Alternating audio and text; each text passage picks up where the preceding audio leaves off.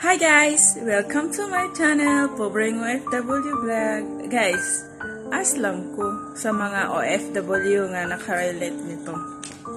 Ngano ang kasagaran OFW madangas ang agtang like me? bitaw guys, kasagaran bitang OFW madangas ang agtang ngano ka na, masakay ko na ano? Tungod ba na sa kago sa trabaho or unsa kana kinsa kay makatubag ana guys? Tubagan ninyo guys kung makatubag mo. Bye bye thank you for watching. I love you.